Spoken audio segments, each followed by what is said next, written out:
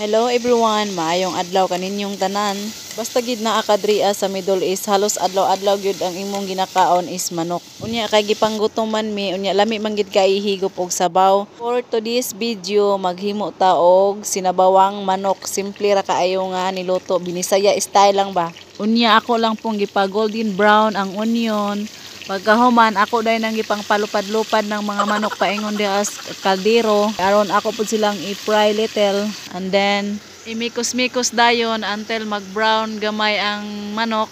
Pag medyo golden brown na siya tan-awon, nag-add na dayon ko diha og water. Mga labaw-labaw lang gino para maglutaw-lutaw ba ang sabaw kay para mabusog kay labi na ako hilig kay ko og sabaw. So ayo na lang gina ninyo pansina ng akong gilutuan kay ang kanang tagaluto diha sa gawas once a week lang gina siya maghinlo diha sa gasoline.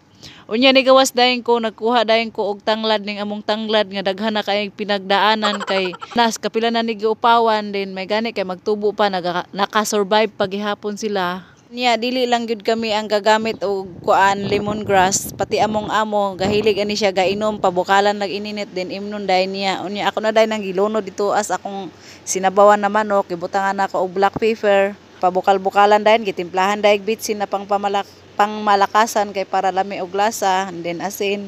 Inga na rin ka simple basta ang amo ang makasudan lang mi makahigop mi og sabaw. Ay daginoton nga sili sa Indiano ako na lang pud na siyang gikuha wala na gay ko na nanghid. Isa lang ginakabok na bilin. Bisan unsa lang gid mo mahuna-hunaon pagluto aning manok. Kung himuon naman namo usahay fried chicken usahay mag-adobo mi.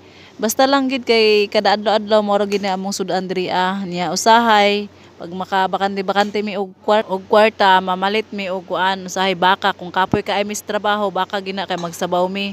Unya og kuan pod magpalit pod mig isda kanang isa ka kilo kung kaupato na mo na og sudan kami sa akong kauban. So mao gid namong kuano kung magluto mig among kagalingon nga pagkaon Pilipino pod diha gid sa gawas sa ilahang kitchen kay naman na sila dirty kitchen din dad una pud namo sa sulod kay dili sa sulod among lutoon magluto pagkaon na mo kay lain lahi ra baya og baho nya kini among amo maay ba nig panimhot mo na na ready na among paniudto simple ra gid kay nga pagkaluto basta ang importante mabusog ta unya solve na dayon ang paniudtos mga anakan Gutom ikaw ha? Oh, gutom siya. Gutom ikaw? Tubag dayon.